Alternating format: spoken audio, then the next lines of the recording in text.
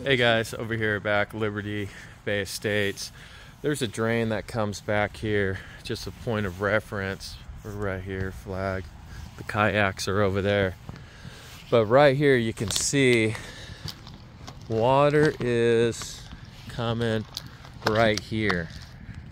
So what we have to, right here. So you see this water?